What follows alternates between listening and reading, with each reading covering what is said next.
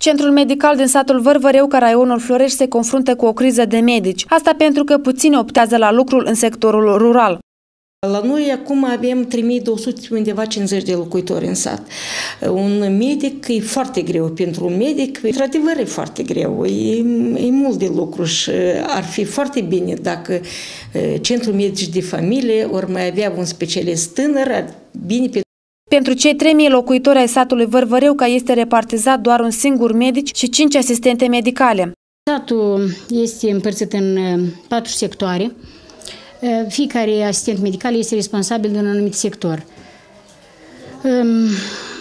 La evidența personalului medical, chiar și asistenții medicale, se află atât noi născuți, cât și toate vârstele, până și pensionarii, bătrâni.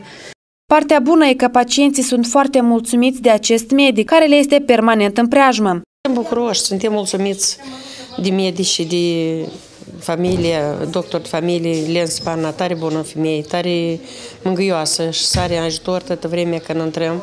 Niciodată nu ne lasă la ultimul impas. Și Elena Stepana și doamna Alăș, Liuda și Tamara Grigorna, toți și lucrătoare care lucrează aici. Aveți toate condițiile în centru? Da, da. Nu, nu știu, n-am cuvinte să vă spun.